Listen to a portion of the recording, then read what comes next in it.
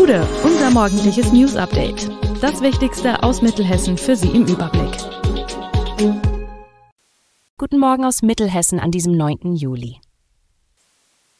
Diese Landstraße im Süden von Limburg wird ausgebaut, das Bistum Limburg verliert weiter an Mitgliedern und es gibt Verzögerung beim Ausstellen von Reisepässen.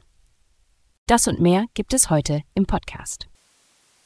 Ein 25-jähriger Asylbewerber aus der Türkei wurde vom Amtsgericht Limburg wegen gefährlicher Körperverletzung, Bedrohung und Sachbeschädigung zu einer Bewährungsstrafe von einem Jahr und vier Monaten verurteilt.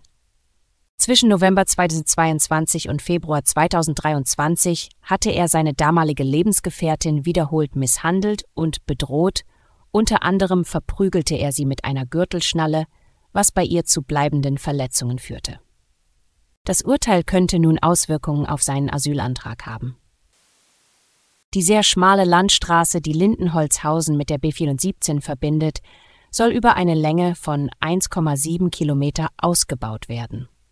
Davon sollen neben Autofahrern auch Radfahrer profitieren. Denn laut Hessen Mobil soll parallel zur Fahrbahn ein Rad- und Gehweg bis zur Bundesstraße entstehen.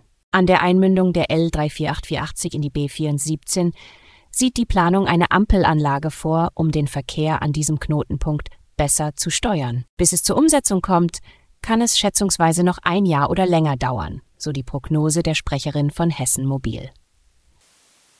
Das Bistum Limburg verliert weiter an Mitgliedern. Dies geht aus der aktuellen kirchlichen Statistik hervor, die jetzt veröffentlicht worden ist.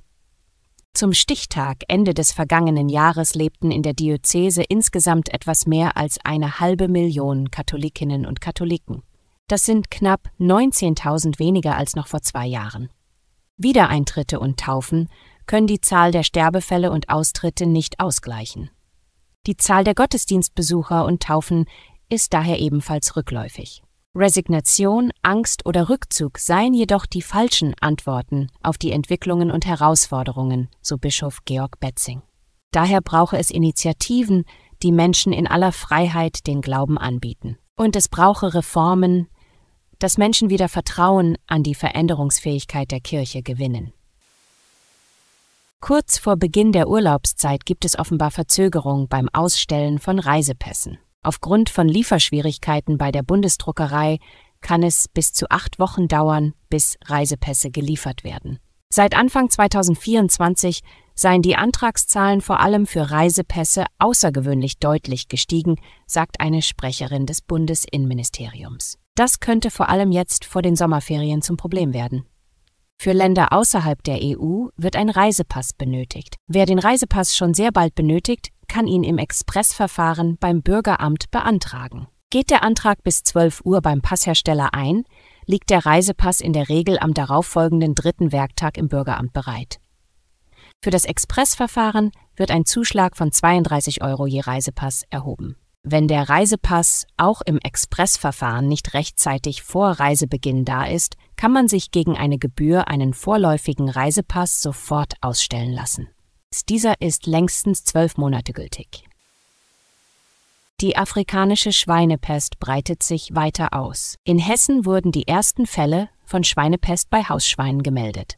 Wie das Landwirtschaftsministerium mitteilte, ist ein Betrieb mit neun Schweinen bei Biebesheim am Rhein im Kreis Großgerau betroffen. Bei einer Kontrolle war dort bei einem Tier, das Krankheitssymptome aufwies, eine Blutprobe genommen worden. Der Landesbetrieb Hessisches Landeslabor bestätigte den Verdacht. Daraufhin wurden die Tiere nach Ministeriumsangaben unter tierärztlicher Aufsicht getötet. Rund um den Betrieb wird nun eine sogenannte Schutzzone in einem Radius von drei Kilometern sowie eine Überwachungszone eingerichtet. Auch in Rheinhessen wurden gestern die ersten Fälle von afrikanischer Schweinepest bei Wildschweinen gemeldet. Zuvor war nur die andere Rheinseite betroffen. Wie die Kreisverwaltung Alzey-Worms bestätigt, wurden am Samstag in Gimsheim zwei infizierte Wildschweine in der Nähe des Rheins entdeckt. Alle Infos zu diesen Themen und noch viel mehr finden Sie stets aktuell auf www.mittelhessen.de. Gute Mittelhessen ist eine Produktion der VRM von Allgemeiner Zeitung, Wiesbadener Kurier, Echo Online und Mittelhessen.de. Redaktion und Produktion die NewsmanagerInnen der VRM. Ihr erreicht uns per Mail an audio.vrm.de.